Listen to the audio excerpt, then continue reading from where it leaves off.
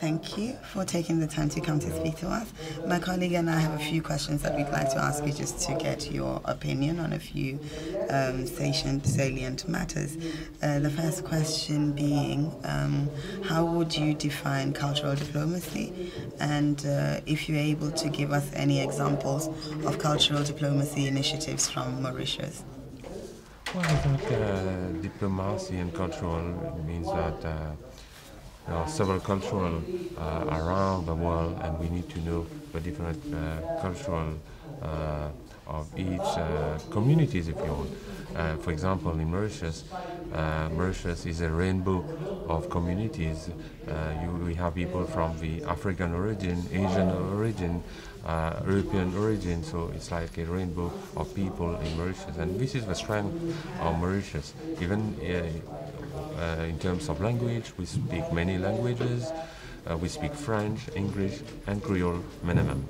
So if we are uh, from the Asian uh, community, which is probably Indian or uh, Chinese or Muslim, we could probably speak Mandarin, Hindi, or Arabic.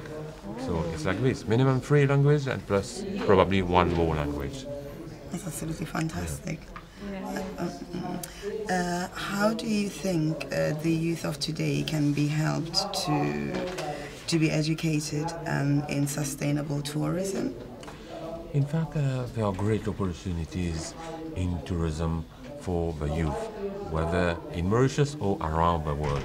And in Mauritius, I can tell you that uh, the, the, hospitality uh, is uh, on the high side, which is which means that Mauritius is very well known uh, when we talk about uh, tourism, uh, about service in hotels, and we have among the best hotels in the world, which are in Mauritius.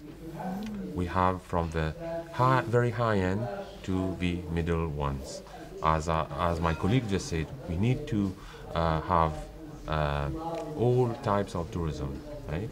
Not put all the eggs in one basket, which is uh, very dangerous, in fact. This is why when I came as uh, the new Minister of Tourism uh, since last three years, I've started to diversify on new markets because at that time we were concentrating only from Europe and, and, and once uh, upon a time, 75% of our tourists were from Europe, which is very dangerous. Europe remains very important for Mauritius, but we need to find also new markets every year.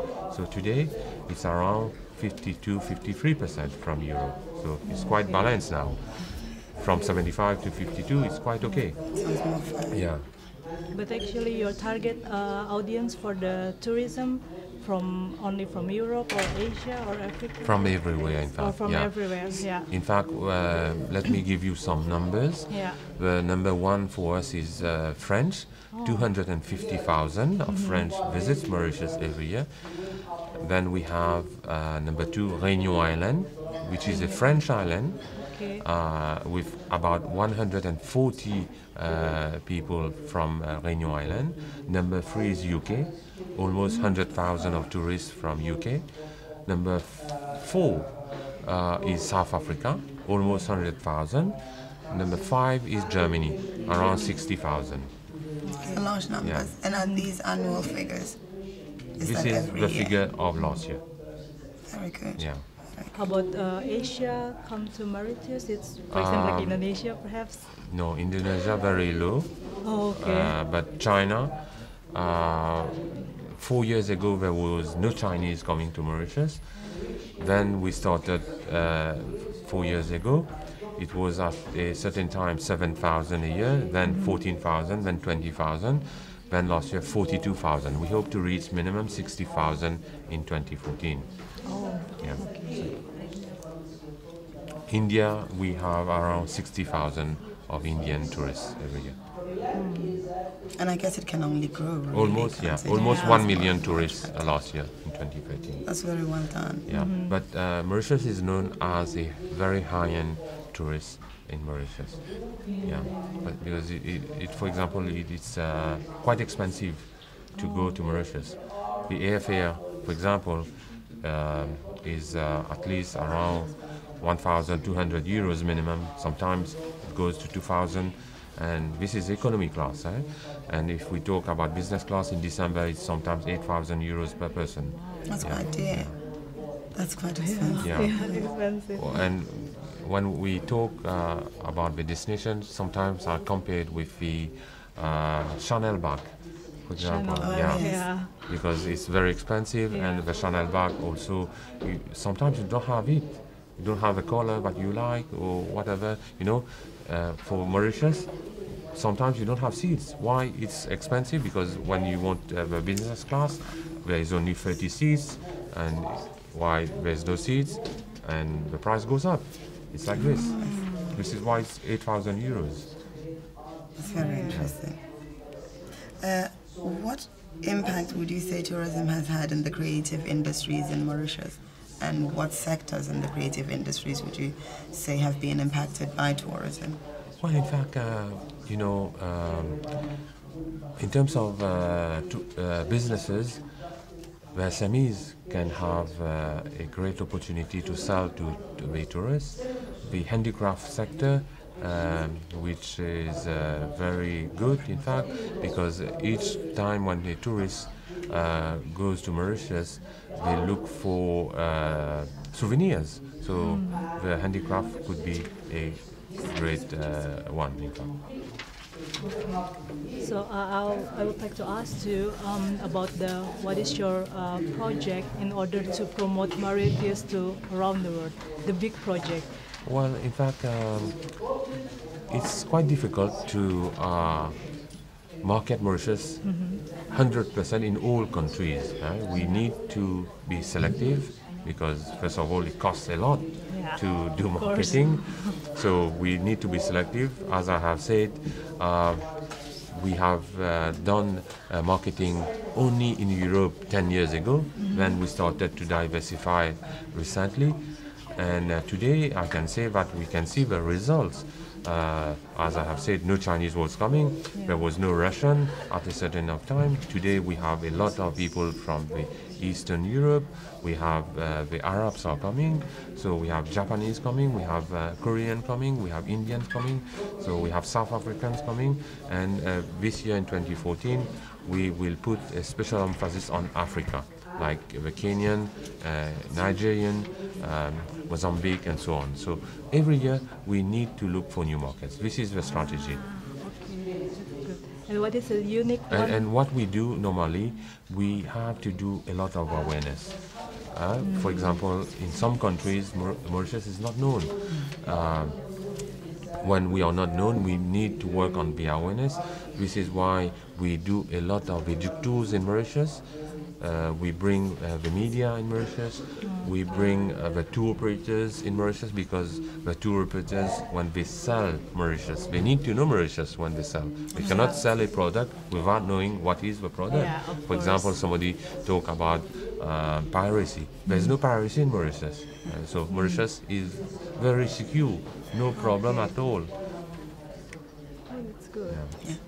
As I have said, Mauritius is a paradise. Mark Twain said that, not me. Mark Twain, the author.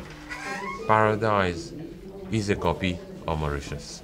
Hmm. That's a very good selling Yeah. point. yeah, yeah, yeah.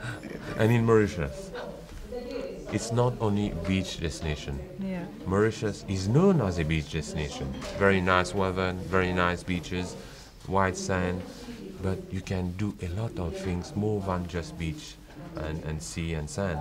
So, for example, you can do shopping, you can uh, play golf, you can uh, go for sightseeing, you can go to the safari, you can walk with a lion, you can uh, go to see the crocodile park, you can go to the bird park, you can touch the crocodile, the small ones, not the big ones. You can touch the lions. the lions are big ones. Eh? They- But is it they- okay you can to touch, touch? yeah, I did it. Oh, Yeah, safe, don't worry. Incredible. Incredible. We have sports tourism, kite surfing is becoming very important in Mauritius. Every year we have a lot of competition, and a lot of Russians uh, come to Mauritius for kite surfing every year. We have golf competition. A lot of hotels does uh, a golf uh, competition, and every year we have international golf competition in Mauritius. So a lot of things to do, not just beaches, not just like. Uh, it's also a business place. Uh, a lot of people come to Mauritius for business. A lot of people come for MICE, for the MICE segment. A lot of people come for honeymoon. As I have said, Yes, Mauritius before, yeah. has been awarded the best honeymoon destination worldwide uh, recently by World Travel Awards. It was in November, three months ago. Fantastic, fantastic. And for lo- the last three years, best honeymoon destination in the uh, Indian Ocean. Last three years. Oh, So great place for the lovers, Yeah. for the honeymooners. we will go there. Yeah. Yeah, you need to. We- we Yeah, need to sure. visit. Do you think that tourism is then a way to explain the economic sustainability of the country?